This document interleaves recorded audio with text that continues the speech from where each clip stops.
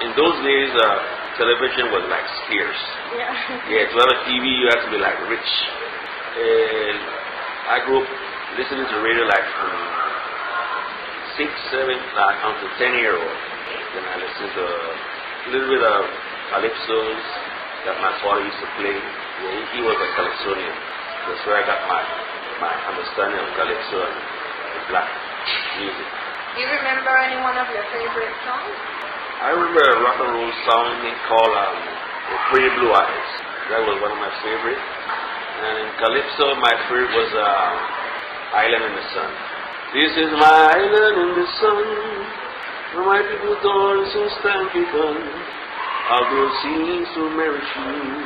This is the only the words of enemy.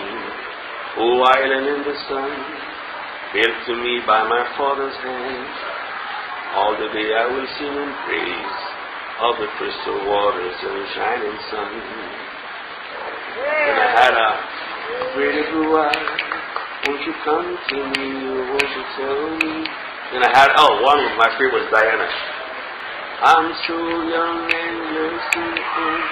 This my darling, I've been told. Oh,